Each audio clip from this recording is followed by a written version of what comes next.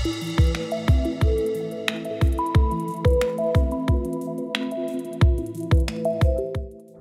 తెలంగాణ తొలి travel artist.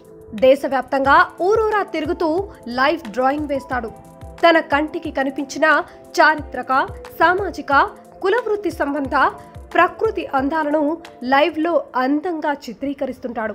అందుకే ఆయన విలక్షణమైన చిత్రకారుడు అవిశ్రాంత యాత్రికుడు. కళ కోసమే జీవించేవాడు. అన్నిటికీ మించి నికార్సైన జన చిత్రకారుడు.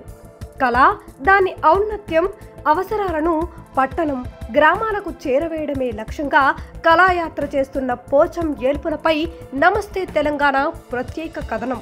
పూర్తి వీడియో ఆగస్టు ఆరున నమస్తే తెలంగాణ యూట్యూబ్ ఛానల్లో వీక్షించండి. మరిన్ని ఆసక్తికర కథనాల కోసం నమస్తే తెలంగాణ యూట్యూబ్ ఛానల్ను సబ్స్క్రైబ్ చేసుకుని పక్కనే ఉన్న గంట సింబల్పై నొక్కండి.